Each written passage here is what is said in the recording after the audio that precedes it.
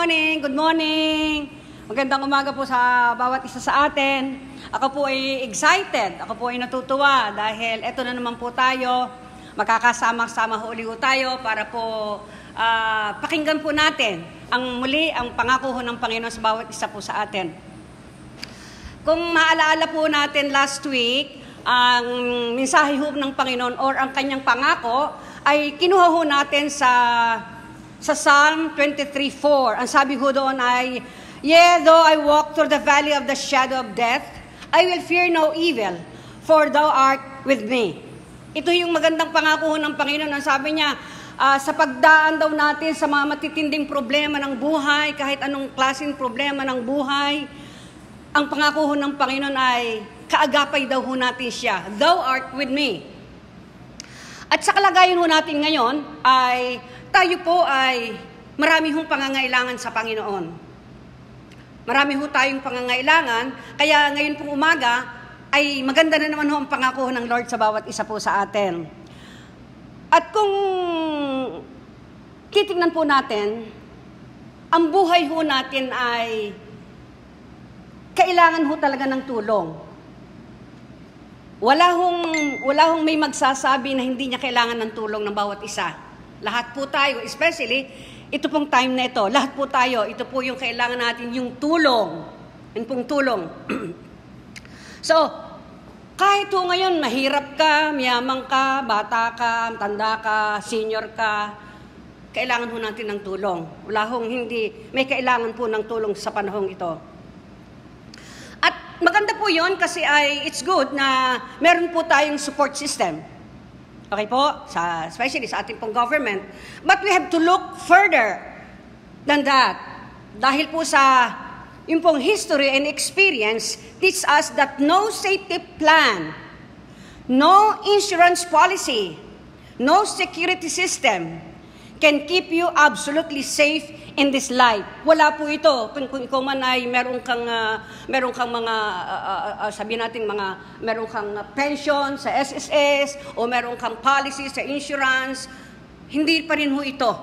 Hindi pa rin ho ito sapat para makatulong sa atin. Bagamat nakakatulong po ho sa atin. Now, pwede ho tayong sumunod sa mga, sa mga safety rules. Di pa ba? Especially sa government po natin. Take every precaution. Di po ba? Tayo po ay mag-exercise. Kumain po tayo ng healthy food. Yan po yan. Pero, things like this can still go wrong. Amen po. So, ah, kaya po tayo ay kailangan po tayong lumapit sa Panginoon.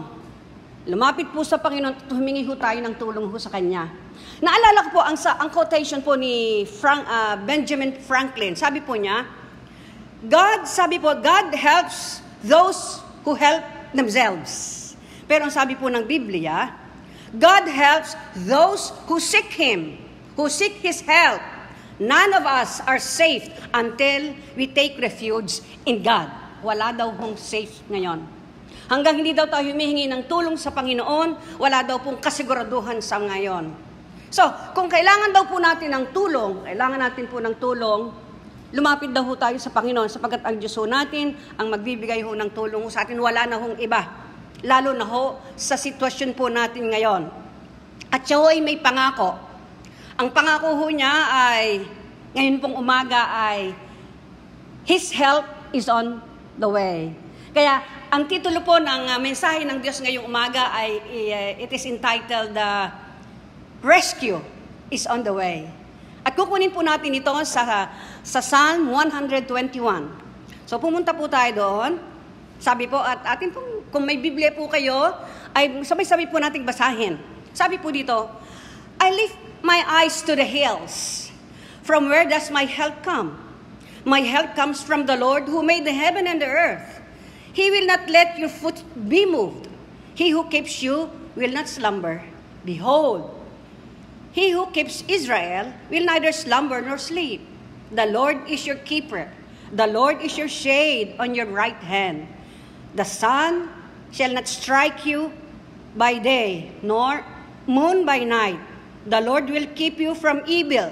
He will keep your life. The Lord will keep you, you're going out and you're coming in from this time forth and forevermore. Tayo po ay sumandaling uh, manalangin, sama-sama po tayong manalangin at tayo po ay uh, magpakumbaba po sa Panginoon ito pong umagang ito. Tayo po ay manalangin. God, we come to worship you with faith and hope in our heart. We gather to worship you and to praise you, O Lord. Samahan po ninyo kami sa amin pong uh, pag-aaral po ng inyong salita at Lord, ang patuloy ko pong pa hinihingi po sa inyo ay tumimo po ito sa aming mga puso, O Diyos, lalo na po sa mga panahong ito na kung saan kami po ay nasa ganitong sitwasyon at hindi po namin alam ang aming po mong gagawin. Tunay po, Panginoon, na kayo lang po ang aming tulong. Kayo lang po ang aming kaagapay, wala na pong iba. Kaya, Panginoon, we still hold on on your promises. Dito lang po kami lumalakas, Panginoon. Marami pong salamat muli sa privilege. Marami pong salamat sa umagang ito, Panginoon, na kami po ay, ako po ay narito at muling uh, tagapagsalita mo, O Diyos, ng inyong pong salita. Marami pong salamat. Ito po ang aking samot dalangin in Jesus' mighty name. Alam po ng bawat isa sa atin na tayo po ay naka-lockdown, di po ba? At alam din po natin sa ating pong sarili na extended po yung lockdown until April 30. But the question is, after April 30, ano ho kaya? Ano kaya ho ang mangyayari after April 30? Ito po ba ay i-extend? Or ito po ba ay mai-stop na? Ito po yung ating nasa sa isip po natin. Nag-aalala ho tayo dahil hindi po natin alam. So, kung ako ang tatanungin nyo, at pati po kayo, kahit po kayo, wala pong nakapag-predict na ito pong coronavirus na ito ay dadating ngayon. Ito pong nakakatakot na virus na ito na dadating po sa atin ngayon. In the past, tayo po ay nakaranas din po ng ganitong takot. Kung atin pong matatandaan, tayo po ay nakaranas ng Spanish flu, H1N1 virus na kung saan tinatawag po natin itong swine flu. Tama po ba? Or yung, at saka yung Ebola. Okay, yan po mga dumaan po sa atin. Pero itong lahat pong ito ay na, na, na, nasugpo ka agad.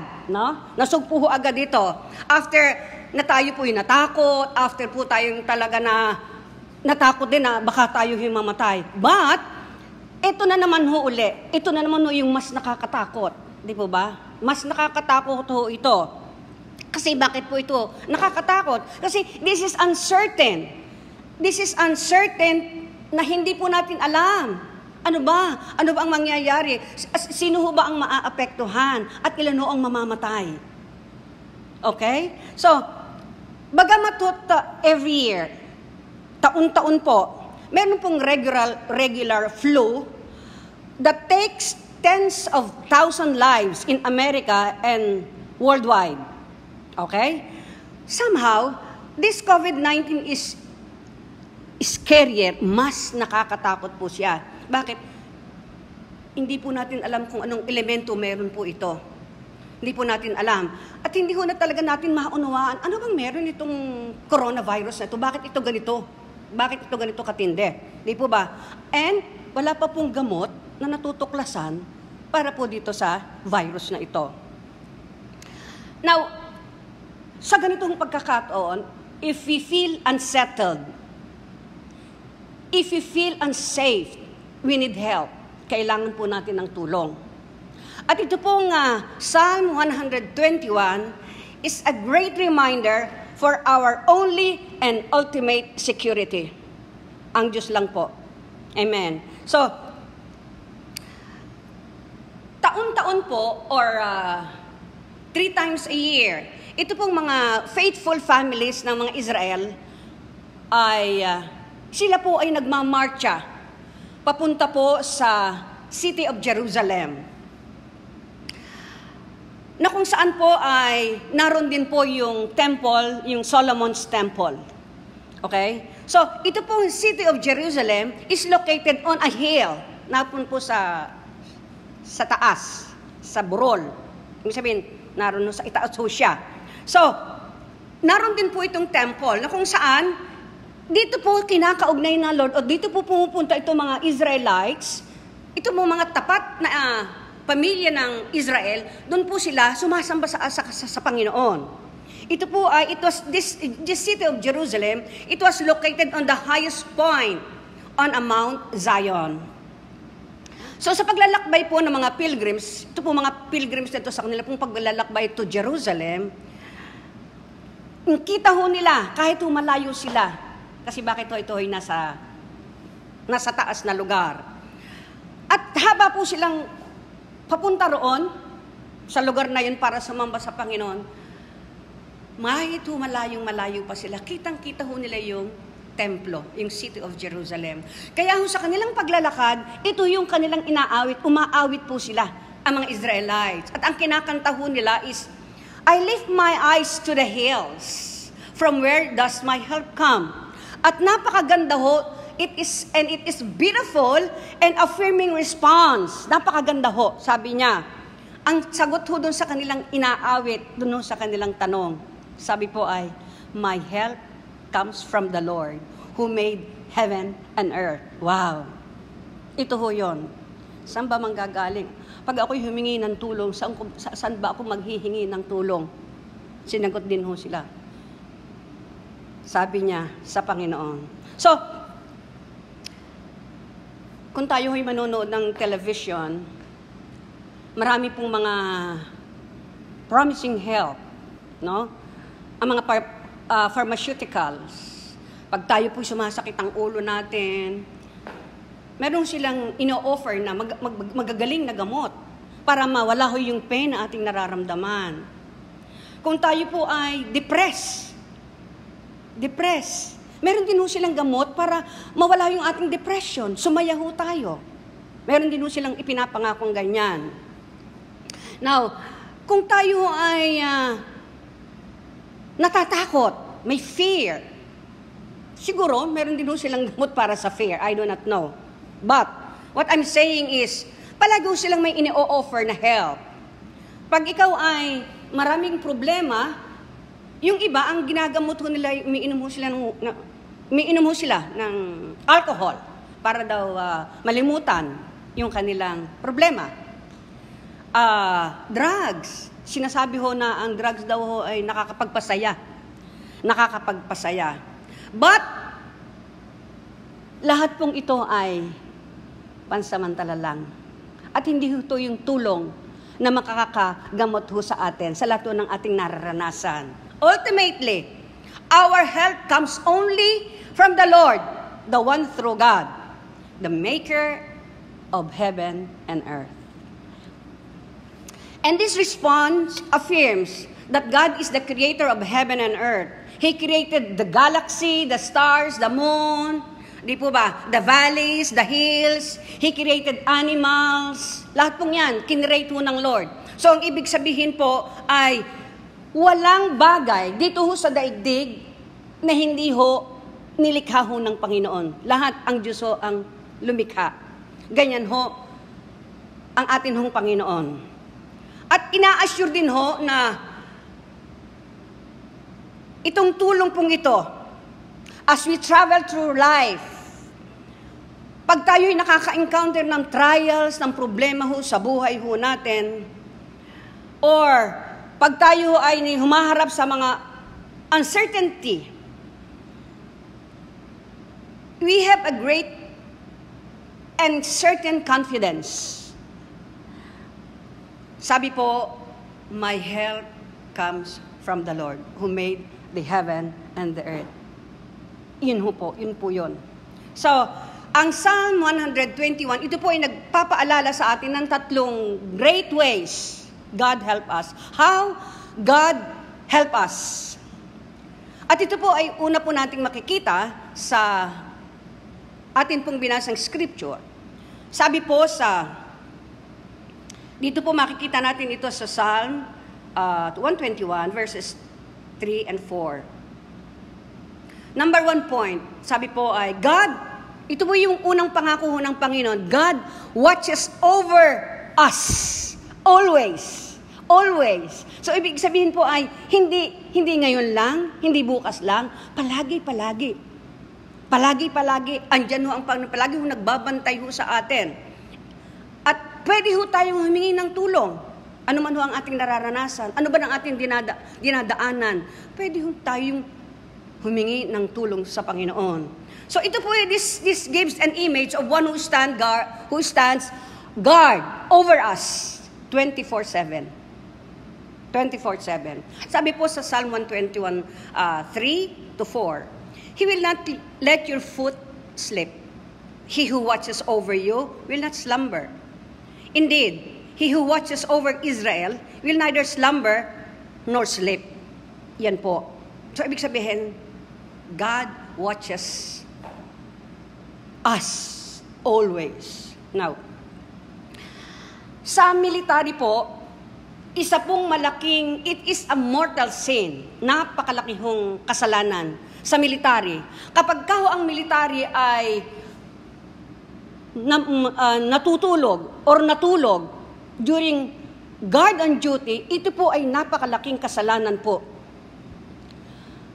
Na maaari na, na paghabang sila'y natutulog, pwede pong kunin yung kanilang mga sandata, kung anong meron sandata sila. At maaaring itong mag-cause pa na pwede ho silang patayin. Kaya napakahirap po ng isang militar. Kaya ito ho, ma- ma- maano ho sila dito. Ito isang malaking kasalanan sa isang militar na natutulog, natutulog during uh, guard on duty. Pag ho sila naka-duty. Okay po. Now, ito ho dito pinapakita ng atin hong Panginoon, hindi ho siya umiidlip. Hindi ho siya, kahit idlip, hindi ho umiidlip po ang ating Panginoon, lalo nang hindi ho siya natutulog. Bakit ho? Bakit ho ang ating Panginoon ay kahit idlip, hindi ho niya ginagawa. Especially, lalong hindi ho siya natutulog. Sabi nga, He always watches us. Palagi ho tayong binabantayan. Bakit? Bakit ho? Kasi, sabi niya, God is our guard on duty. He is watching over us 24-7. Okay? So, kung atin, dito, dito, sa ating binasa, atin nung mapapansin ito pong uh, word na watch over or keep. Ito po ay makikita ho natin uh, six times. At ganun din po itong Yahweh or Jehovah na kung saan po ay this was interpreted as Lord. Ang ating pong Panginoon ay palagi ho itong nasa likuran ho natin. Palagi ho itong kasakasama ho natin. He watches over li- our lives day in and day out. Hindi po siya sumasablay. Hindi po siya sumasablay. Palagi ho siyang nagbabantay ho sa atin. Kaya alam ho ng Panginoon ano ho yung ginadaanan natin. Alam ho ng Panginoon na sa ngayon ay ito po yung kalagayan natin. At minsan po, uh, uh, uh, sa panahong ito ho ay marami na ho yung hindi kumakain on time. Di alam ho ng Panginoon na uh, uh, mamayang tanghali, baka wala ka ng kainin sa tanghalian, mamaya sa hapon, alam ho niya ito lahat. Kasi nagbabantay ho siya. Binabantayan ho niya tayo. Okay po. Now, we need help. Kailangan po natin ng tulong. At tayo po'y malayang tumawag po sa Panginoon. At sometimes, kapag ho tayo ay nananalangin, at hindi ho agad natugon ho ng Panginoon, minsan ho nasasambit ho natin, natutulog yata ang Panginoon, bakit hindi ako tinutugon? Pero, mga kapatid, ang Diyos ho ay hindi ho tumutugon sa ating mga panalangin ayon po sa ating gusto. Kasi alam po ng Diyos kung ano po yung makakabuti po sa atin. Alam mo ng Panginoon kung ano yung makakabuti sa kanyang mga anak. Maaring sa tingin po natin yung ating pong prayer ay, eh, aba, ang ganda nito, ito yung akma sa akin, lalo po sa, lugar, sa panahong ito. Pero hindi po. Mas alam po ng Diyos kung, alin, kung ano po yung makakabuti para po sa atin. So, yun ho yun. Siya ho ay palaging andyan. Palagi ho siyang nasa atin hong paligid, hindi ho niya tayo iniiwanan. At ang Diyos ho ay pala, palagi hong, ang gusto ho niya yung palaging sa ikabubuti po natin. Mahal na mahal ho tayo ng Panginoon. He is infinitely in love with us. Minsan po ay merong nagtanong sa Greek general na si, wala pong iba kundi si Alexander the Great. So kilala po natin si Alexander the Great. Siya po yung hari of the ancient Greek kingdom of Macedon. Sabi niya, may nagtanong ho sa kanya, sabi niya, paano ka nakakatulog ng mahimbing? Sabi niya ganyan. Ang dami mong kaaway. Napapalibutan ka ng maraming kaaway, maraming may galit sa'yo. Paano ka nakakatulog ng mahimbing? Sabi sa kanya. At ang buhay mo ay palaging in danger. So, sabi ho ni Parmerio, meron akong faithful guard. Meron akong tapat na gwardya. Sabi niya ganon. Na kung saan palagi niya akong binabantayan. Okay? Friends, ang ating pong Panginoon, God is watching over us all the time. Bakit po? Hindi po siya natutulog ni umiidlip. Kaya tayo po ay pwedeng matulog peacefully. So, let us remind ourselves of these words. He will not let your foot be moved. He who keeps you will not slumber. Behold, he who keeps Israel will neither slumber nor sleep. Tandaan po natin,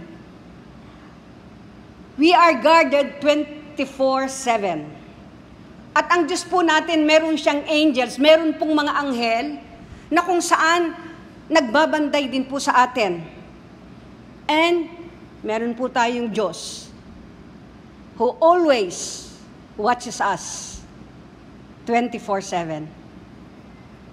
And secondly, second help na pwede ho nating hingin po sa Panginoon at ibinibigay ho ng Panginoon. Number two, sabi po dito ay God protects you.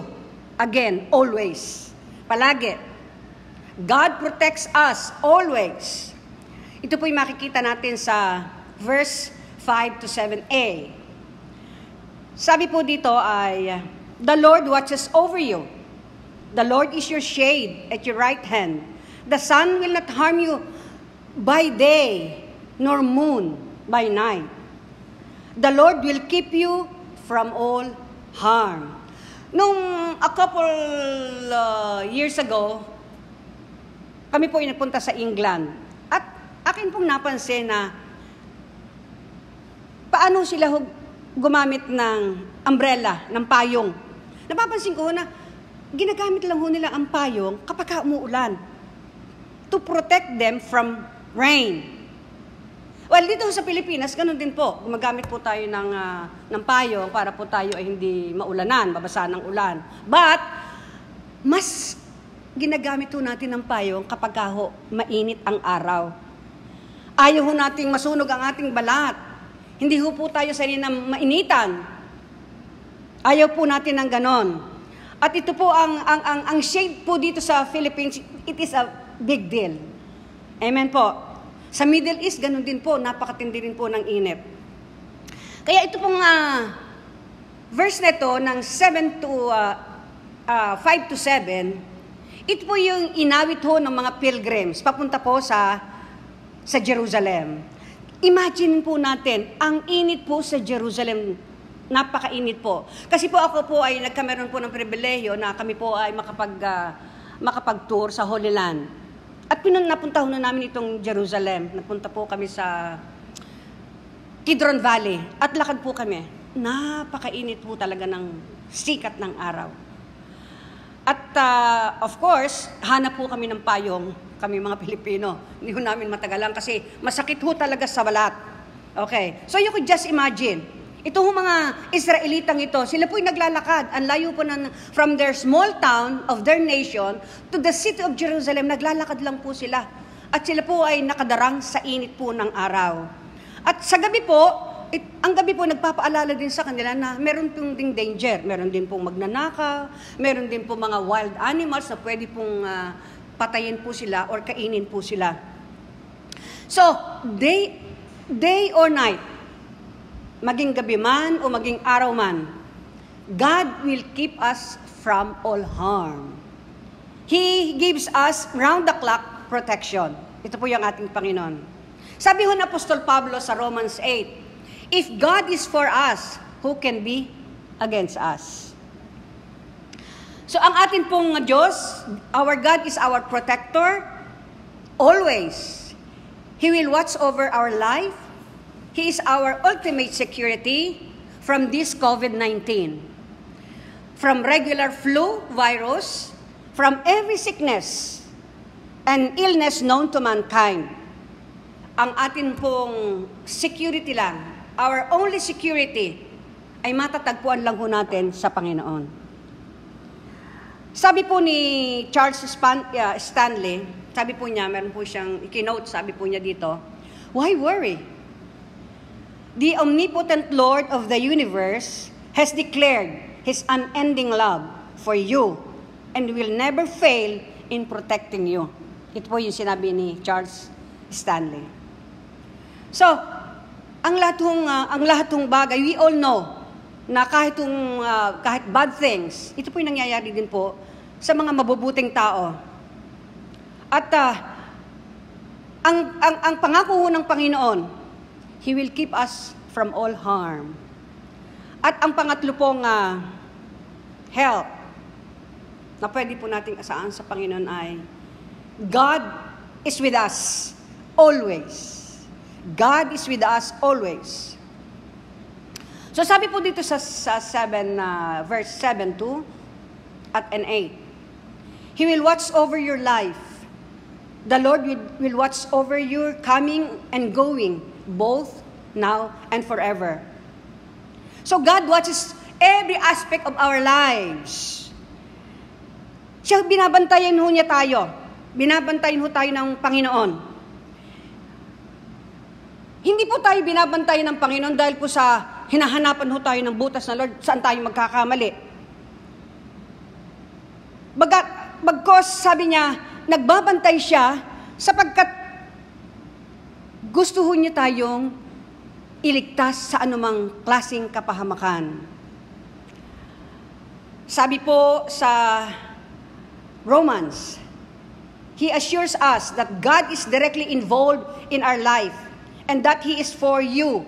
He is for us, not against us.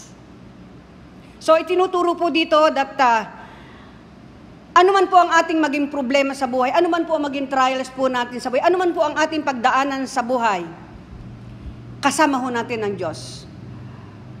Ang ating pong Diyos, He is a loving God, non-manipulative parent. Hindi po siya nagdidikta, wala po siyang ididikta sa kanyang mga anak. Andun lang po siya. Tayo'y kanyang binabantayan. God watches over us with a promise. May pangako ang Diyos mararanasan ho natin ang kanyang presence. Amen. So, so yung pong, uh, yung pong uh, phrase na coming and going, it refers to everyday ebb and flow of our life. Ang Panginoon po natin ay kasakasama po natin sa mga big moments po ng ating mga buhay. Katulad po ng halimbawa po tayo ay nung tayo ikinasal, nang tayo po ay mga anak, Di po ba? Nang tayo po ay na-promote sa ating trabaho, kasakasama ho natin ang Diyos sa mga ganitong pagkakataon. At even in the little moments of our lives, andun din po siya. Pagising ho natin sa umaga, andun po ang ating Panginoon. Sa buong maghapon, andun din ho ang Panginoon. At pagtulog ho natin sa, pang, sa gabi, andun din ho ang Panginoon. Kahit sa pag, uh, pagkain ho natin ng breakfast, sa pagkain ho natin ng ating almusal, andun ho siya. Kahit po sa panonood ho natin ng TV, kahit po sa ating pag, uh, paggamit ho ng ating, uh, ng ating ng, uh, video game. Andun din ho siya. Kita ho niya lahat yan. Wala hong maikakaila. Kahit sa pagsusulat natin ng email. Di po ba? Andun ho ang Panginoon. Sa pagtulog ho natin sa gabi, naroon din ho ang Panginoon. Kaya, sabi po, if you are a believer, everywhere you go, the Holy Spirit goes with you.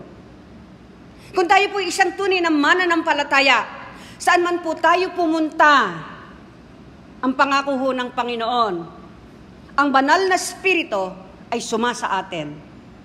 Okay? So yun ho yun. Kaya ho, may pangako ang ating Panginoong Yesus sa kanyang mga disipulo at ito'y makikita natin sa John 16:7. Ang sabi po doon ay, But very truly, I tell you, it is for your good that I am going away. Unless I go away, the advocate will not come to you. If I go, I will send him to you.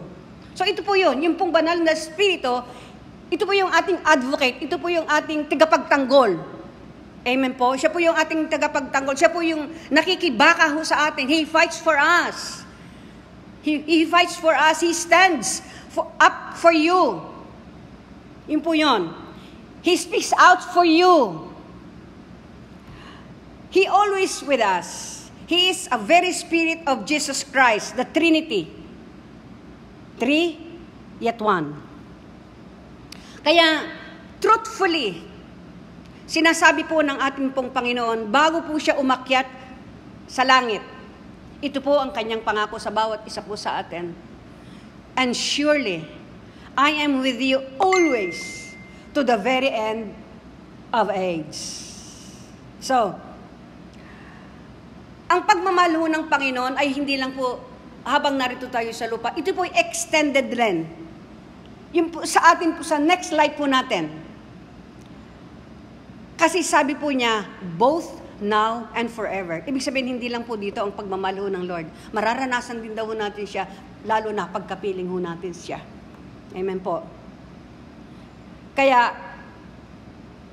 in Him, we have life. Sa Diyos po, nadun po ang ating buhay. Meron po tayong eternal life. Meron po tayong forever life.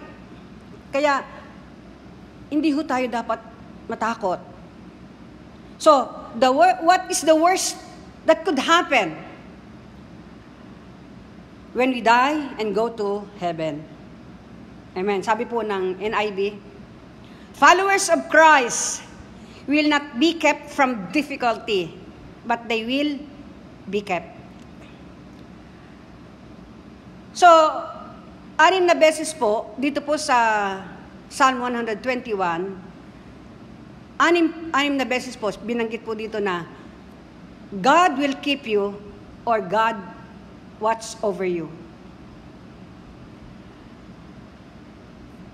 Tandaan po natin mga kapatid, God watches over you always.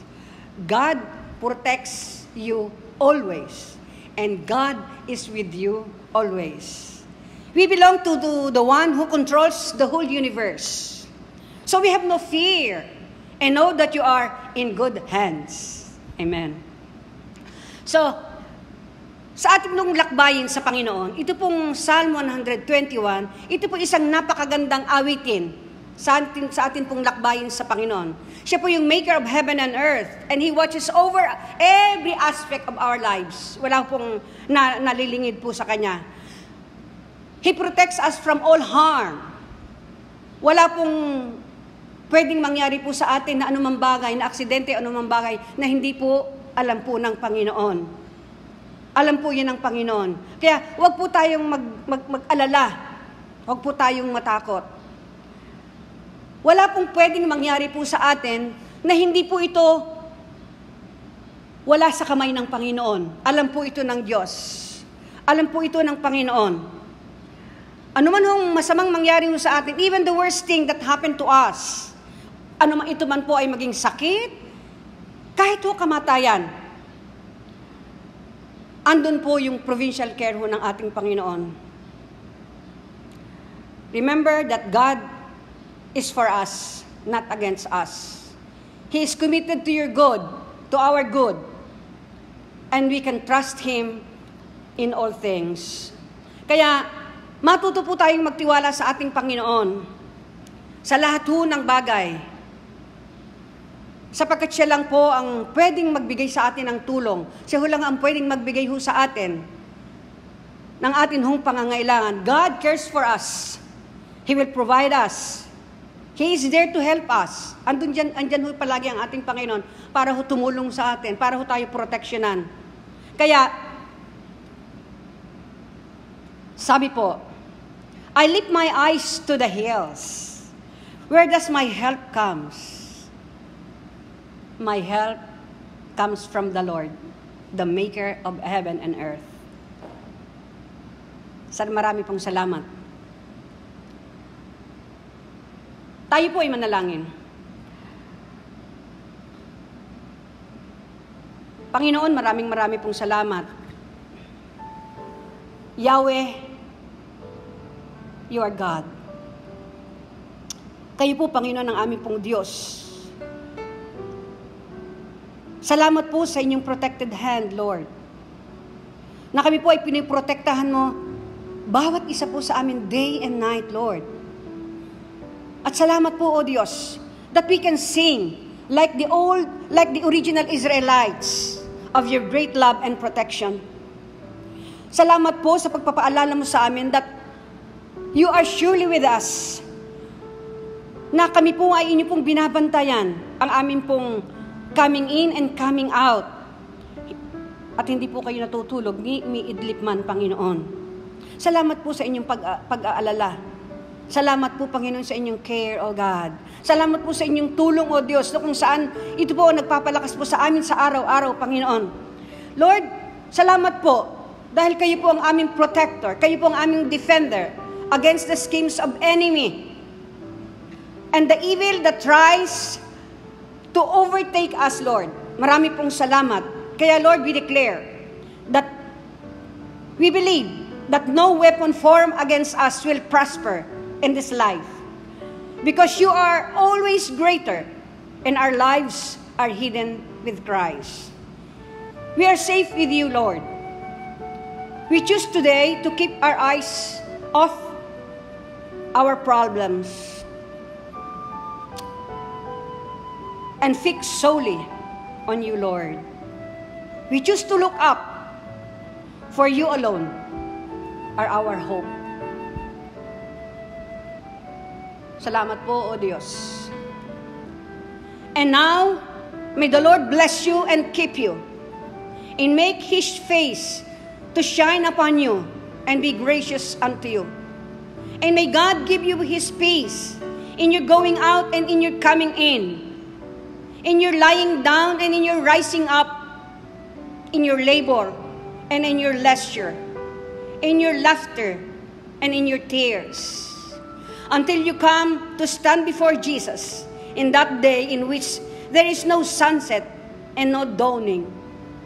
May the love of the Father, the tenderness of the Son, and the presence of the Holy Spirit gladden our heart and bring peace to our soul this day and all days. In Jesus' mighty name.